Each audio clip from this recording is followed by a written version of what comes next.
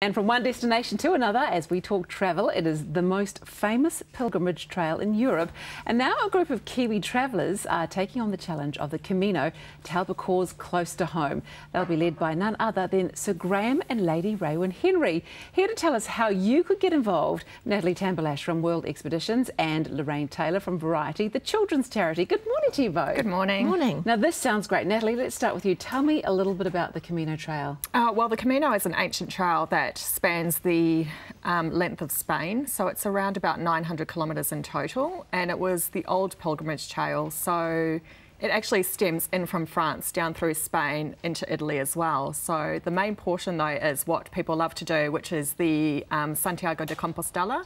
And the Santiago Compostela is throughout Spain. So it's a walk through the main part of Spain into Santiago, which is where the cathedral is and where the remains are meant to be buried as well. Wow. Oh, that looks absolutely beautiful. What mm. is it? Hmm. What sort of like skill do you have to have? Do you have to be a really good walker? Oh, not so much, no. Um, anyone that has a great level of fitness or a decent level of fitness can do the trail. I mean, it's one of those where there are certain sections that are hilly, yeah. um, but most of it is, you know, quite different, varying day to day. And that's good for you as well, having a few hills. And that's it also is. a really good reason to get fit and train for something. Now, Lorraine, can you tell me about the fundraising component to this trip?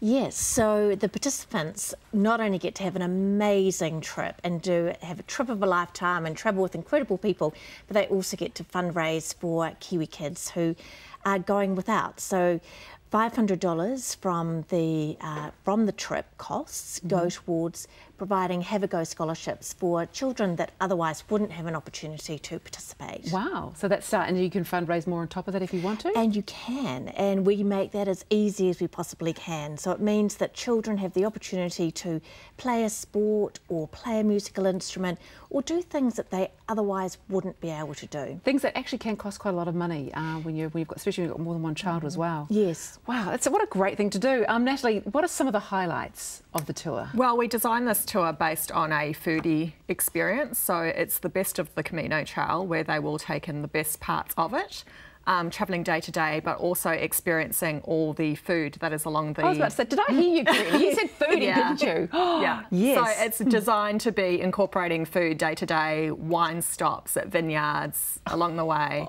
So yeah, they're not actually having too much of a bad time. I think they it looks like a pretty good time just quietly. Look yeah. at that with the special walking sticks as well. The countryside looks absolutely astounding. Yeah, it is. It's a stunning country. So they actually do certain sections through the northern part, which is the quieter part part of the trail. Uh, um, it, it, must be great, Lorraine, having having this high sporting uh, couple, profile couple involved. Tell us about them. It is. We're so fortunate to have Sir Sir, Sir Graham and Lady Raewyn. I think they're they're they are avid travellers. They're incredibly well travelled.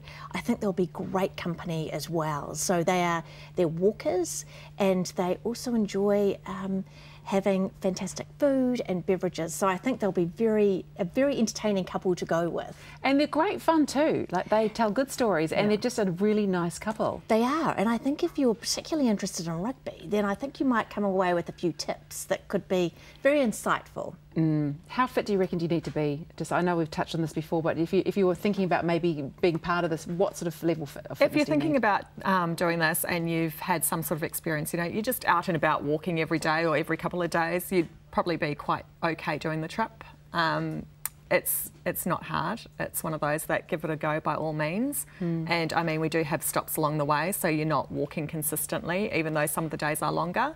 you have got time to stop and to take your time yeah. and to yeah, enjoy it. To relax and look around yeah. you. Mm. Yeah. Um, Lorraine, we talked a little bit before about the funds and what they're raised yes. for and that they're going to be helping children with sport and music mm. instruments and all sorts of things.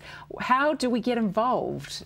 So um, you need to sign up and come along and, and be part of this amazing experience. It is a once in a lifetime opportunity and people can go on to the World Expedition website and find out more more details. But there's lots of time too to to, to train, so I don't think mm. anybody should feel anxious about distances.